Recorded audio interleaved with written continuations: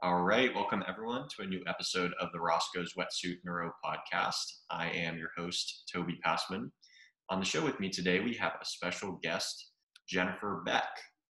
Jennifer is a seasoned entrepreneur with deep experience in the emerging legal cannabis and hemp market.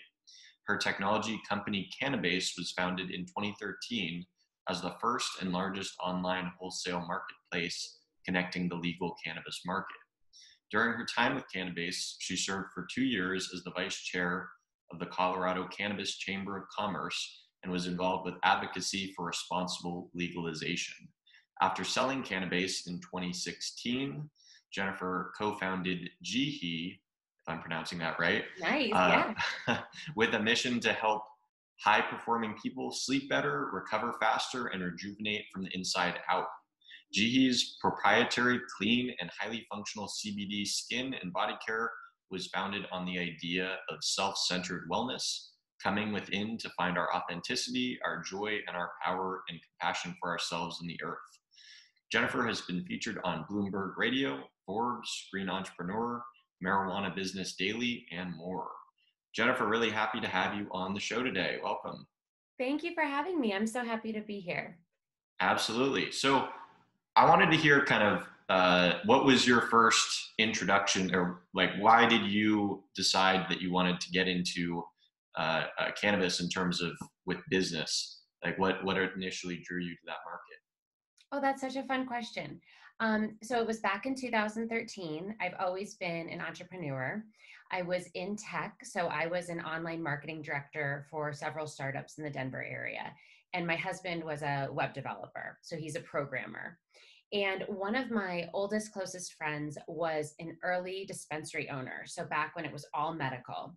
And he owned a dispensary called Doctor's Orders. And we got together for dinner and I was just really curious about the market. It was everywhere in, you know, Denver news was legalization and, and the licenses coming out. And I asked him what the opportunities were um, technology wise for the emerging cannabis industry. And there was something really interesting that was about to happen, which is that up until this point, our market had been well, REC had just passed. That's important. Uh, 2013, REC had just passed. And but the market was initially vertically integrated. So if you wanted to sell in a dispensary, you had to have your own grow. And there was this small allotment, like 30% for wholesale. So companies could sell between each other a little bit of leftover, or if they wanted to mix up their strains, but you were responsible for, for providing the bulk of your own product. This vertical integration mandate was set to end in about nine months. And so companies for the first time could have decoupled licenses. They could have just a cultivation or just a, a retail dispensary. And there was no framework for how they were connecting. And so um, what they were doing for wholesale is it was like drug dealing. You would call, be like, man, I got the best shit. Here's what, excuse me, I don't know if I watch my language.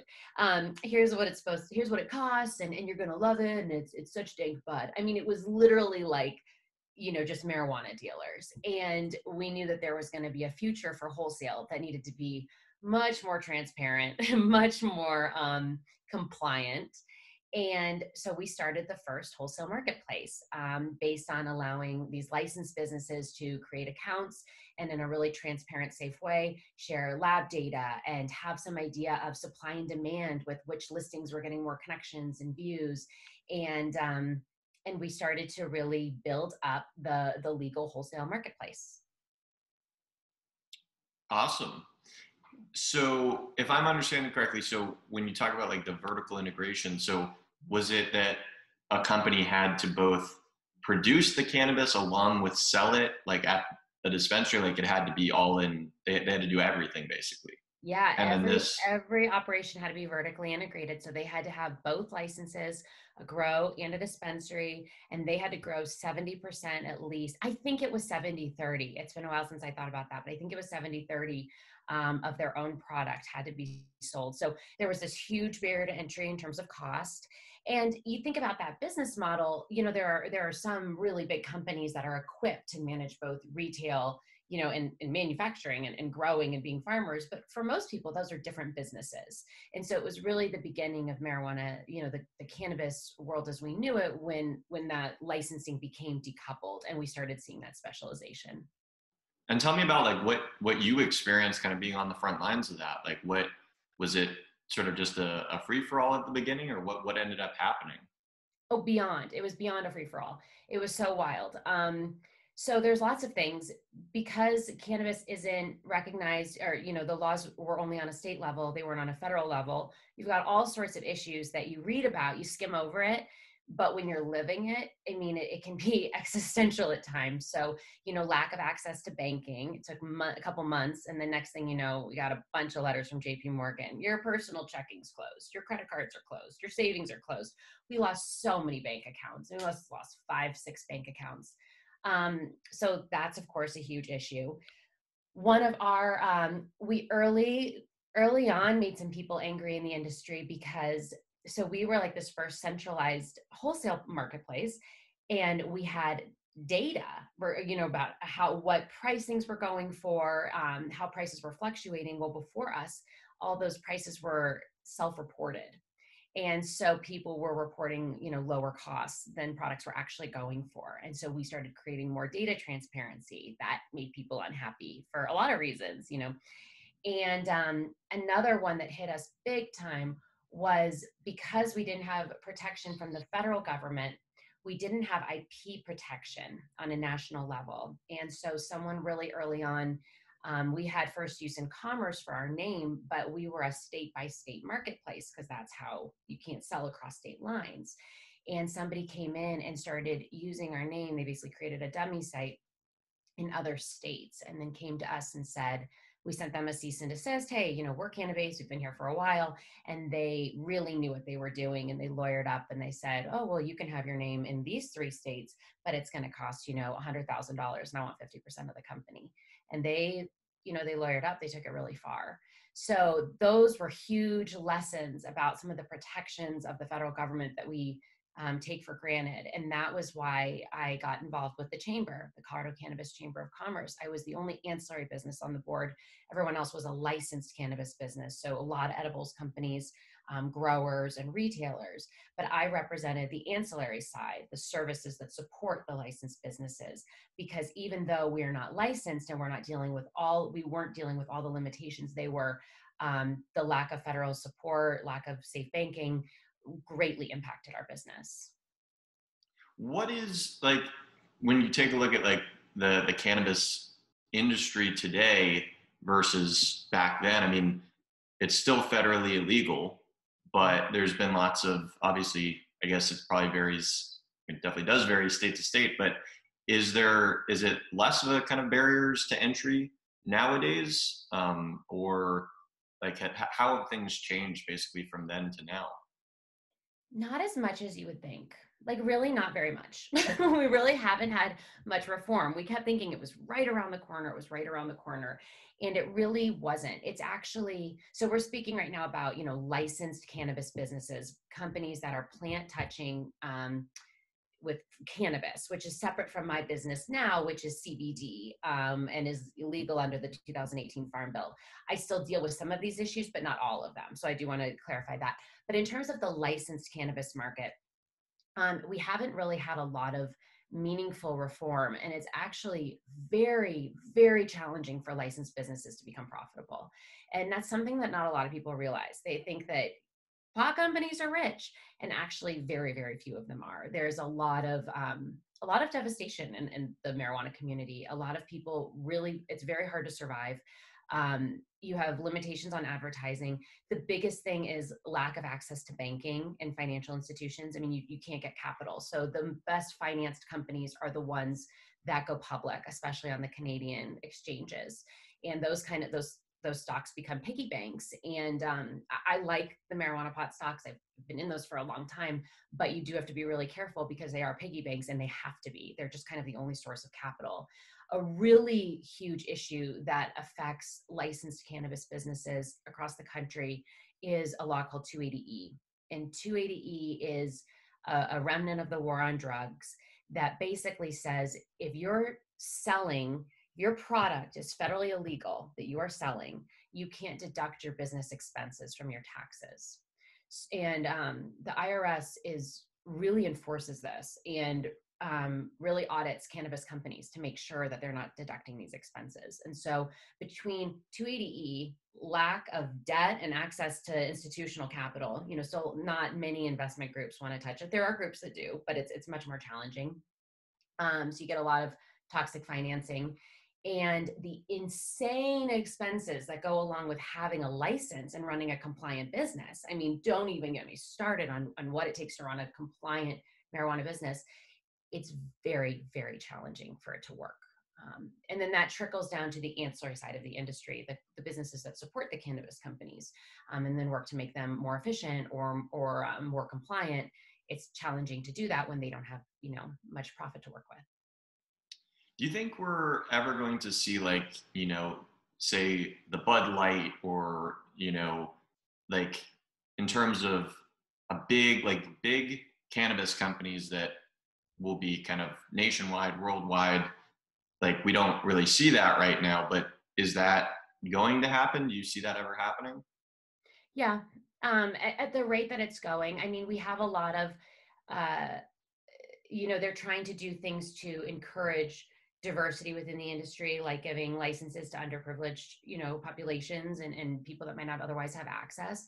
But really, all of those initiatives fall flat without access to banking. Access to banking is really number one because you can get all the licenses in the world, but then if you can't get a loan, you know, most people don't have the cash to just start a business, um, especially a business that's that cash intensive. So the industry is increasingly getting run by these large MSOs, these multi state operators that are getting financed from publicly traded vehicles.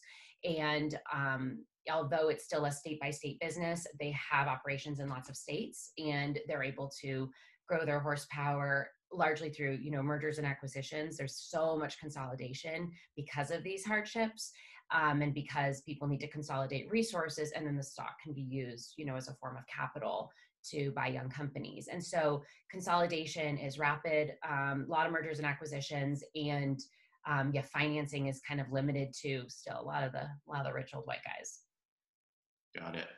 So talk to me about so you you transition more into like hemp based CBD if that's okay. So talk to me about yeah what what was the idea behind uh, behind Jihi and uh, yeah just tell me about like what what kind of products that you guys sell. Yeah, so we sold Cannabase in 2016 and kind of one of these roll up deals, a company that was becoming a bigger and bigger technology provider. And um, that was a fantastic road for Cannabase to go down. And after that, I actually had a baby. And so I left and um, was just a mom for, for about a year or two and was really thinking about what I wanted to do next and love the plant you know have such deep respect for the plant and am so excited about the science around cannabinoids and what these products can do for you. But to me there was a gap in cbd products i'd say for a more mature market. Um, cbd becomes more and more valuable in a way as you get older. It really helps with a lot of the side effects of aging. It helps with topically fine lines and wrinkles and, and our appearance and the dermis and, and staying healthy. It helps speed muscle recovery. It helps our bodies feel better. It helps um, restore our, our circadian rhythm, our sleep, our sleep wake cycles. And these are all things that kind of get more challenging as we get into, you know, our late 30s, 40s, 50s, and then as you move into, you know, menopause and stuff. And the majority still of CBD consumers are in their early 20s. They're people that are comfortable with cannabis and are excited about trying products that are related. And I believe that a lot of the stuff that's out there is marketed to that consumer. It's, you know, it's millennial um, and it's, it's young. The other thing that we noticed because we were so involved in the supply chain side was that the majority of products coming into the CBD industry were created by like the same couple manufacturers. I mean, like and this is a made up number, but in my experience, like maybe 90% of what we saw out there was coming from a few big CBD manufacturers that were creating just vats of stuff, like vat of lotion. And then you can, it's called white labeling. You can put your label on that vat of lotion. And so, although the market is flooded, it's not as innovative or diverse as you'd expect. There are some very cool indie brands that are doing really innovative things, of course, but a lot of it is kind of a race to the bottom in terms of how much CBD can you pump in and then how low can you make that price and how many gas stations can you get it into. And for me, that was um, an opportunity to create something a little bit more beautiful, more high end, more synergistic. Um, as a woman, I've always enjoyed high end skincare. I enjoy, you know, nice products, using nice products, the experience of nice products.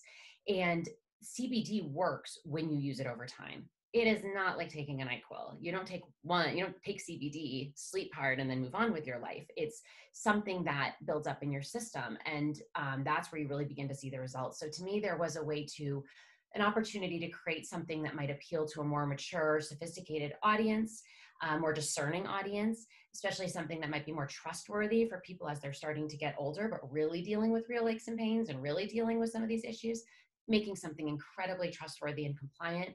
Um, and yeah, I was gonna say one more thing, but I can't remember. Um, so yeah, making something more mature and something that you would love to use so much that that habit would be natural it would be it would be habitual it'd be addictive. So you would actually really experience those benefits of cbd and not say i bought a lotion it didn't work. And that was our vision with with moving into the cbd space. So what tell me about like what happens when you put cbd on the skin? That is such a great question. So um, do you want to talk about the endocannabinoid system for a moment? Yeah i'd love to. So the endocannabinoid system is you know a network of cannabinoid receptors. Endocannabinoids are the cannabinoids that are um, natural to our bodies, naturally found in our bodies. And the endocannabinoid network is receptors for those endocannabinoids found in almost every major organ of the body. And there's two main types of receptors that we've identified so far CB1 and CB2.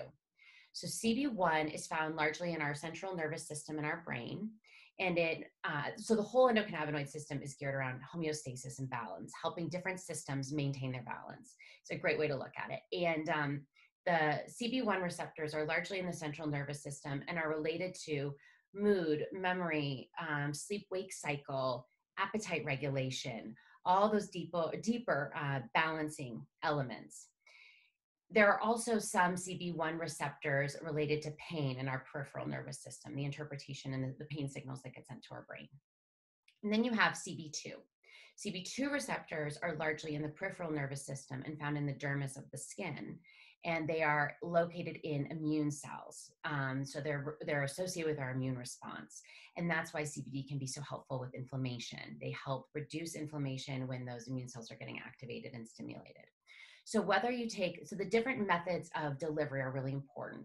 If you're vaping or you're um, taking an oral tincture, it's more likely to move into your bloodstream. There's higher bioavailability, and that's going to impact more those CB1 receptors in our brain and in our central nervous system, helping with those regulating processes. This has given many people the impression that topical um, or skincare CBD is stupid or, or it's a fad because it's not ending up in our bloodstream. That's not true at all. There's a whole layer of the endocannabinoid network that's in the dermis of the skin. So this brings us to your question, what happens when you put CBD on your skin?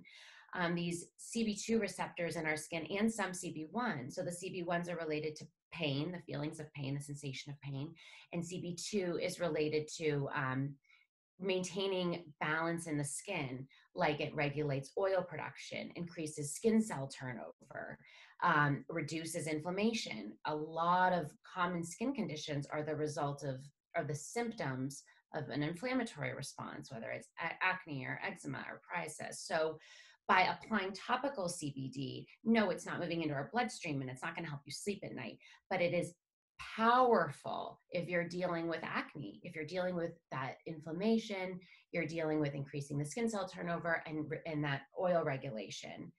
Um, now, of course, this is anything I'm saying is not a medical claim. This is largely it's anecdotal. It's early evidence.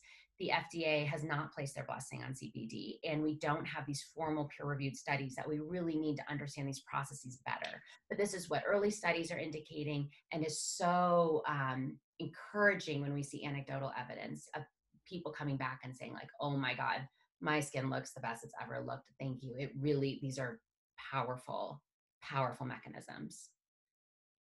So what what differentiates like the CBD that you guys are using um, from the CBD that you were talking about that kind of just comes wholesale and you just slap a like white label on it or whatever? Um, like what what differentiates like what your company is doing? That's a great question. Um, so first of all, of course, we have sourced the highest quality American grown USC because this is not oversaw by the FDA. You don't know what you're getting in a CBD product.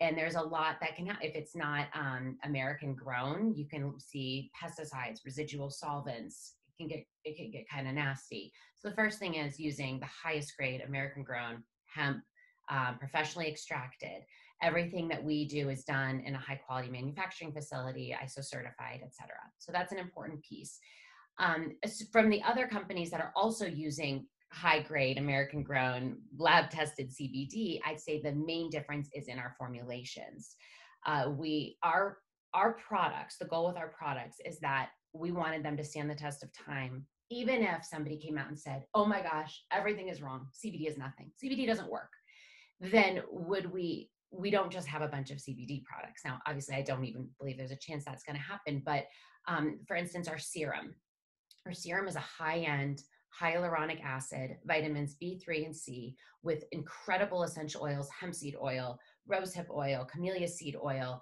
It's a serum that I would buy at the price we sell it for, even without CBD. It's a phenomenal serum. Um, that's why it's being used by spas and acupuncturists and people who have been interested in the CBD fad, but they're not going to put something, you know, uh, comedogenic, something that's going to clog pores or, or low quality on a client at the end of a facial.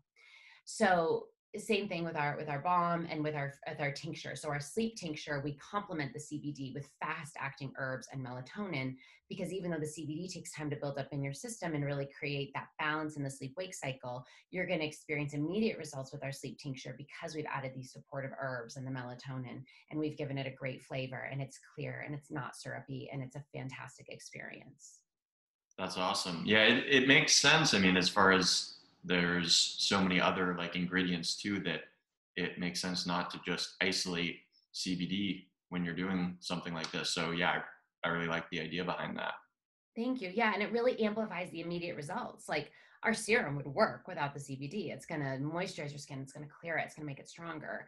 Um, same thing with our sleep tincture and our body balm. They're all really effective without the CBD, and so you you will love using them, and you'll become addicted to using them. And then as you do, now you're nourishing these multiple layers of the endocannabinoid system, and then that's why we say it's restoring wellness from the inside out. Now all of a sudden, you're kind of you feel yourself transform. It's an amazing solution.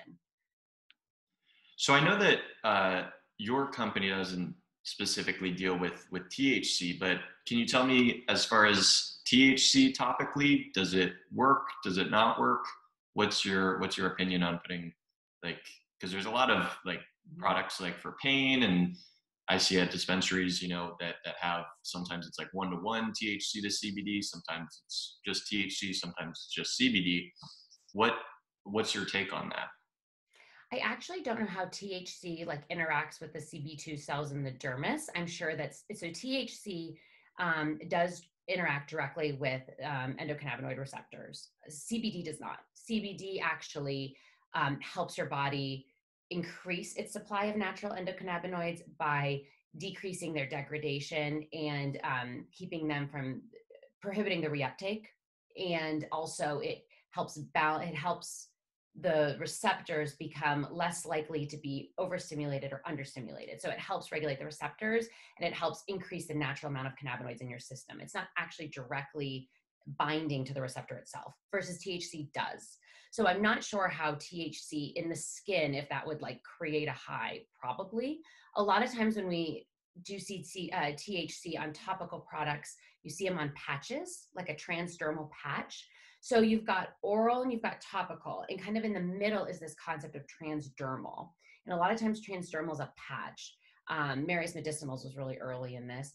And a patch you usually put somewhere really venous, like, um, you know, on your wrist or like on your hip and it can sit for like six to eight hours and it's going to be absorbed into the bloodstream. So now you're looking at that higher bioavailability, but on a topical level.